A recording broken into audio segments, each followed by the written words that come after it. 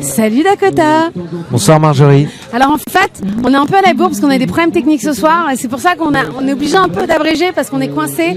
Il y a des gens qui attendent derrière, il y a les salles majestés qui sont derrière qui vont jouer aussi avec nous tout à l'heure.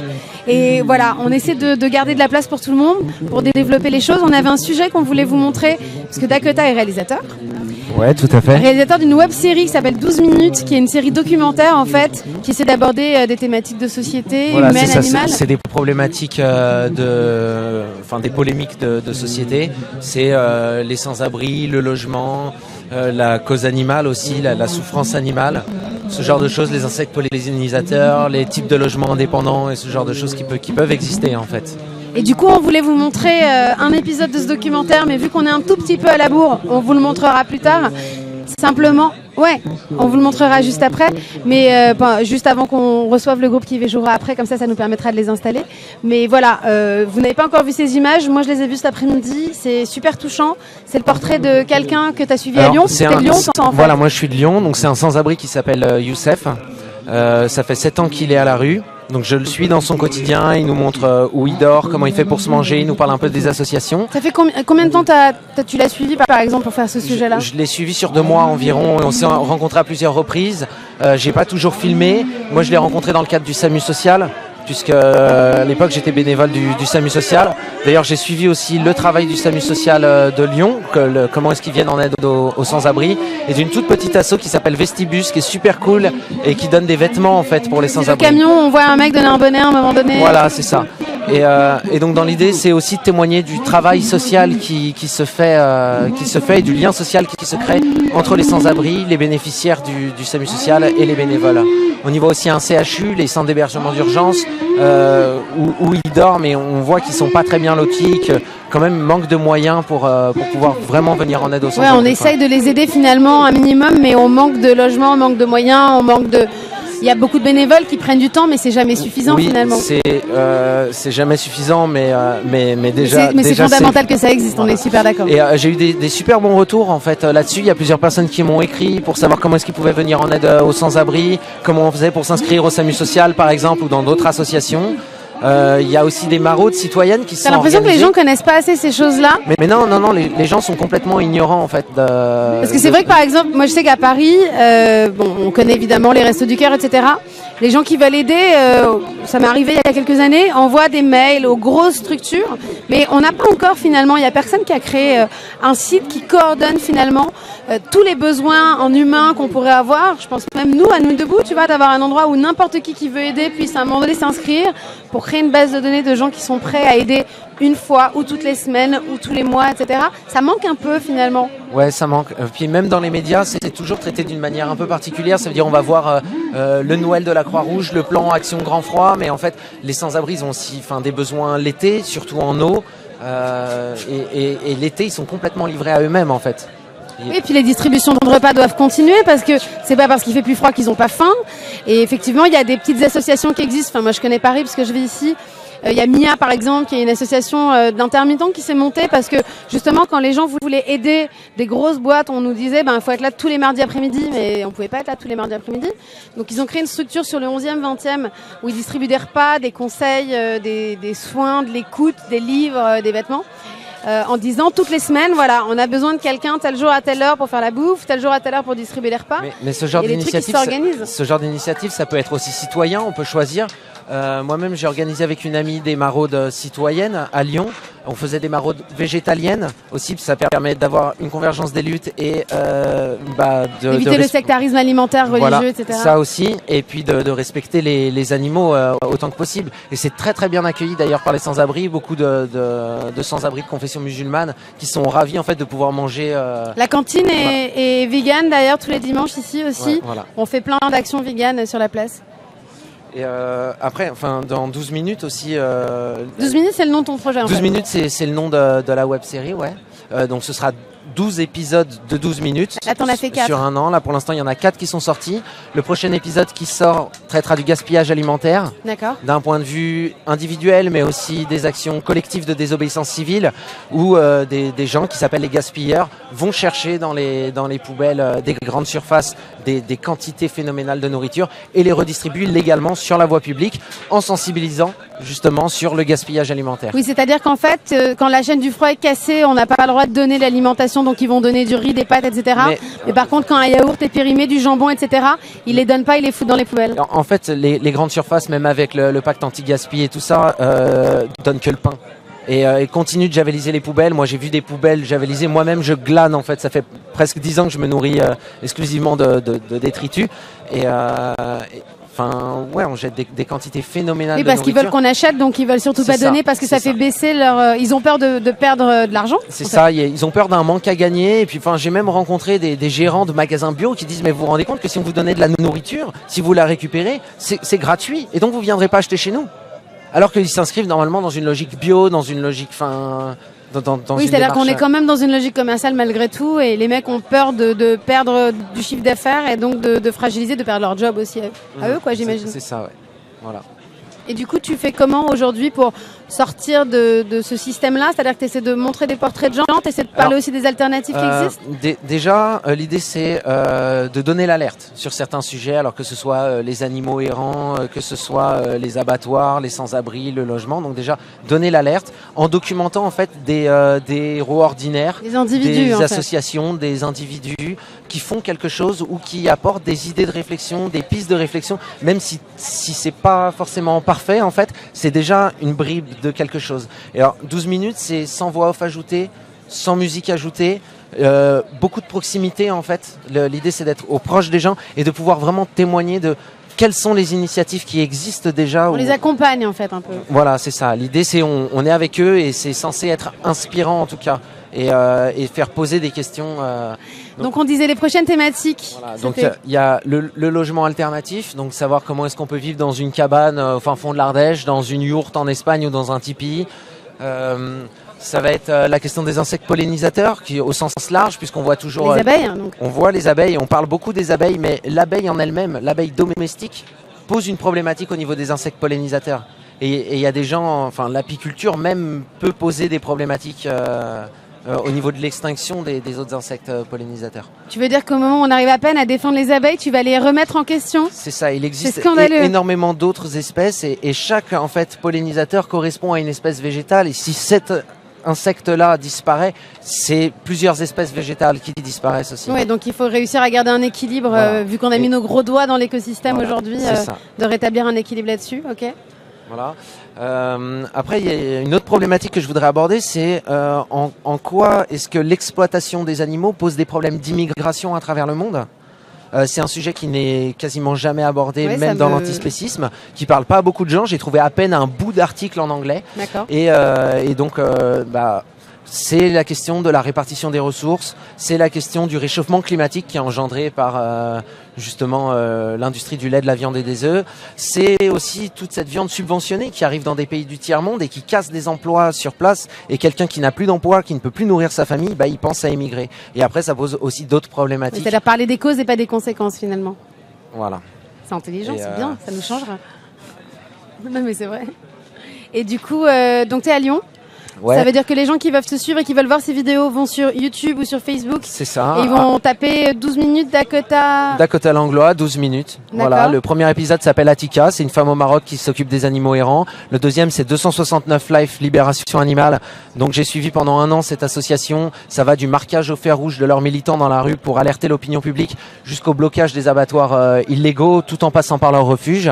Le troisième que qu'on va voir traite des sans-abri. Donc là juste après. Et le, quatrième épisode qui est sorti euh, traite de la vivisection et en fait de l'inutilité d'utiliser le modèle biologique animal pour le transposer à l'homme. Et donc ça on le voit aussi d'un point de vue juridique avec des députés, on le voit avec des, biologistes moléculaires, des vétérinaires, des gens qui ont infiltré les laboratoires pendant une année, qui font un constat avec d'un côté le côté militant et aussi le, le côté scientifique, puisque c'est un sujet qu'on peut pas prendre à la légère et il en dépend de la, de la santé des humains. Quoi. Donc euh, éduquez-vous, instruisez-vous. De toute façon, on va tous les diffuser euh, dans le temps. Ce soir, on va vous en diffuser un et on va dire merci à Dakota d'être venu nous voir. Et bah, Reviens quand euh, tu veux, quand tu repasses à Paris. Avec très grand On reste plaisir. en lien et puis on récupérera ces vidéos, on vous les montrera et puis on va vous justement vous laisser voir ce documentaire de 12 minutes pendant que les salles Majesté vont s'installer pour le concert qu'il y aura juste après. À toutes, merci Dakota. Merci euh, TV Debout et merci Marjorie. Salut.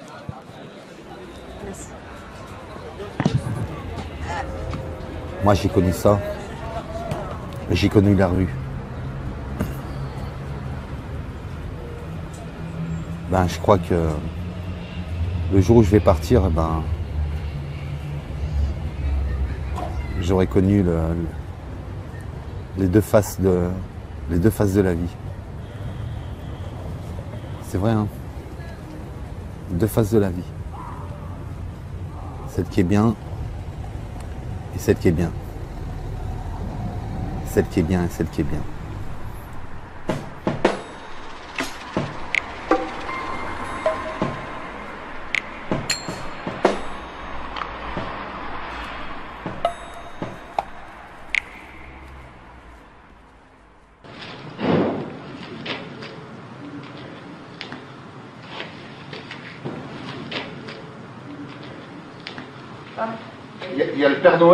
Oublié quelque chose. Ouais. Oh, super. Merci. Très gentil. C'est le Noël de la Croix-Rouge. Un beau cadeau. Déjà toute l'année on les voit, c'est déjà un cadeau à chaque fois. Aujourd'hui c'est spécial, c'est euh, c'est bien. J'ai attendu avec impatience ce jour-là, tu vois. Ouais. Et puis ça change que quand on se voit en fait, c'est toujours dans des associations. Alors on est assis, on boit le café, on parle pas trop, hein C'est ça.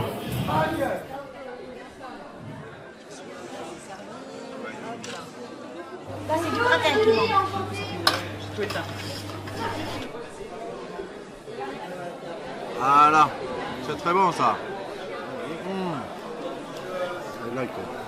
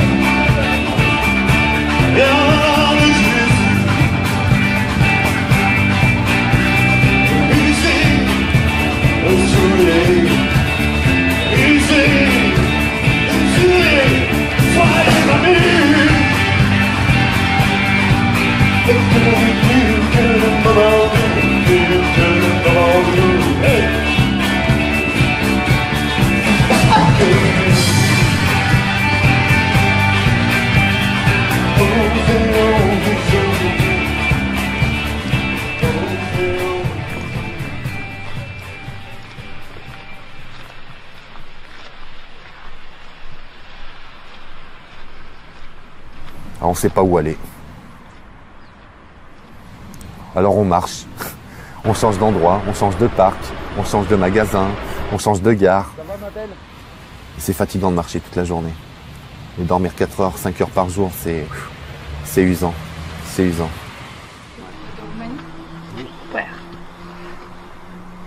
Oh, la maison. Eh, euh, numesc. Cum Cum te numești? Numesc. Haf, hafe. Mă numesc Manu. Constantin, Constantin. Constantin. Manu.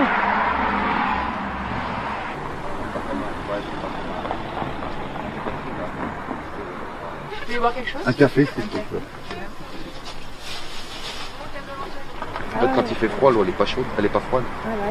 Tu sais, quand il fait 2-0 degrés dehors. hein. Là, ils vont bientôt fermer les robinets. Ah, Non, même pas, non. La mairie, elle ferme pas.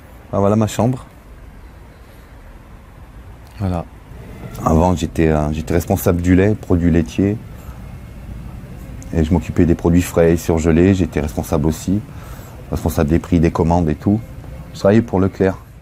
J'ai perdu ma famille, ma femme, mes enfants. J'ai j'ai tout lâché.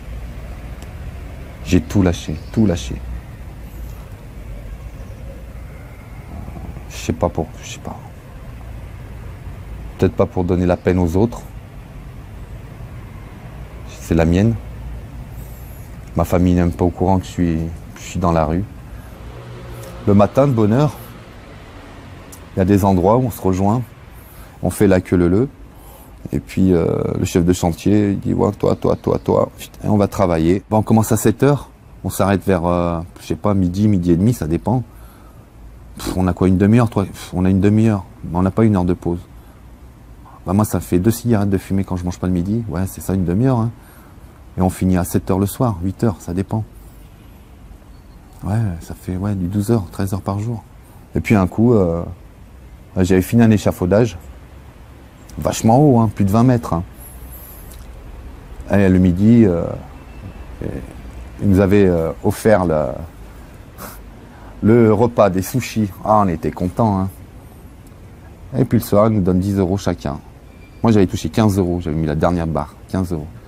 Ah, on a dit pourquoi? D'habitude, c'est 25 euros. Nanana. Oui, mais vous avez man- à manger à midi. hein. Vous avez mangé les sushis et tout. Nanana. Ah, on n'a rien dit. On n'a rien dit. Et là, on attend juste euh, ben, qu'ils nous rappellent pour travailler.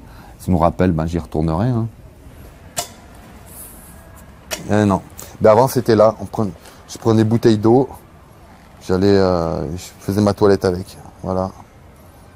Je me lavais les dents, je me suis lavé les cheveux, je me suis rasé là. J'ai fait euh, pas mal de. Pas mes toilettes, quoi. Là, ça y est, ça a commencé. Jusqu'en février, ça va être comme ça, peut-être mars. partea cea colectivă, n-ai ce sute de euro trebuie să faci un act aici. Da? Bactalou, bactalou. Bactalou, e, e, e. Chocolate, da? Calda. Oh, merci beaucoup. Uh, misto, misto.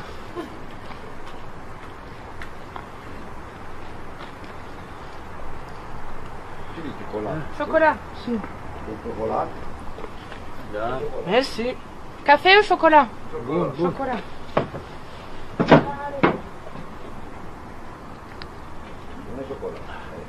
Da, Hlađe ne može, čokolat, preda. kalbe.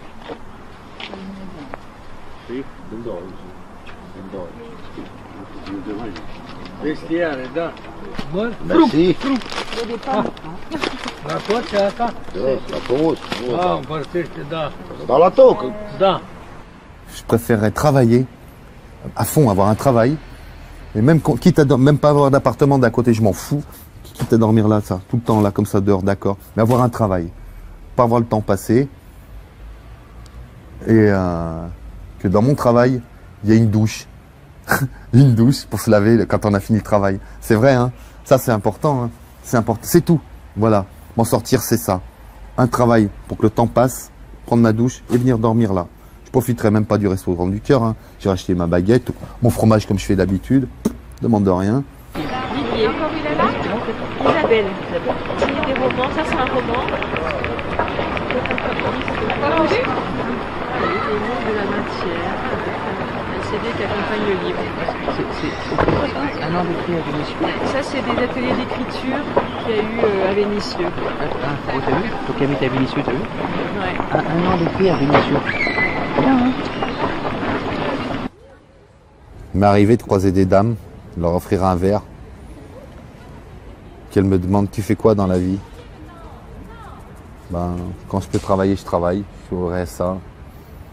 Et t'habites où? Ben. Sous les escaliers de l'église, je suis SDF. Oh là T'oublies mon numéro, hein. Finis son café ou son coca, elle se sauve. Hein. Je les vois plus. Ou elle passe à côté de moi, elle fait comme si elle m'avait jamais vu. hein.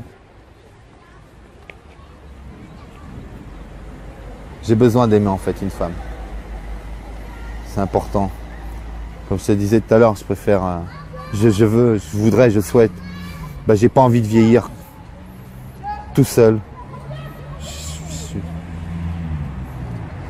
Quoi, même si elle avait des enfants, tu sais quoi Eh Ben. Ça, ça serait bien même. Ça serait le top. Même si elle en a pas, c'est pas grave. hein. Finalement 115, Villeurbanne. Un couple, tu mets. Your, your language. It's okay. Yeah, yeah, okay.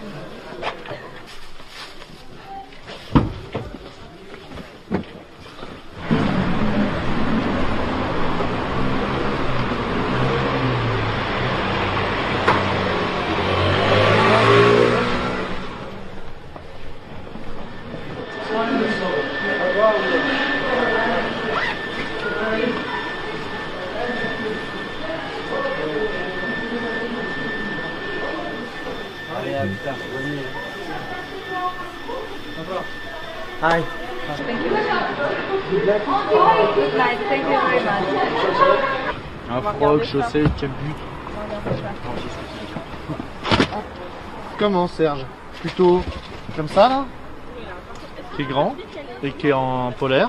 C'est pas mal Oh, c'est bon, je pense ça. T'as maigri toi Oh, je pèse 82 kilos. La dernière fois que je me suis pesé, je pesais 110 kilos. Le régime de la rue, ça pète sa mère.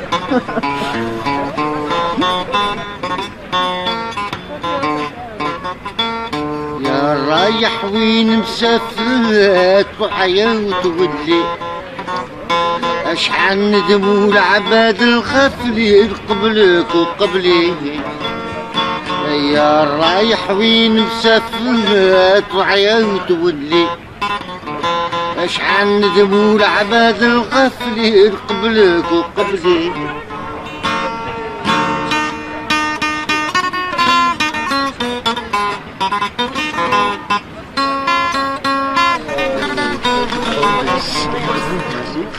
C'est lui le majeur d'ici, pas moi. On a le droit, hein Il faut, ce serait triste s'il y avait plus. Au final, on est tous SDF quelque part. Je crois qu'on est tous SDF.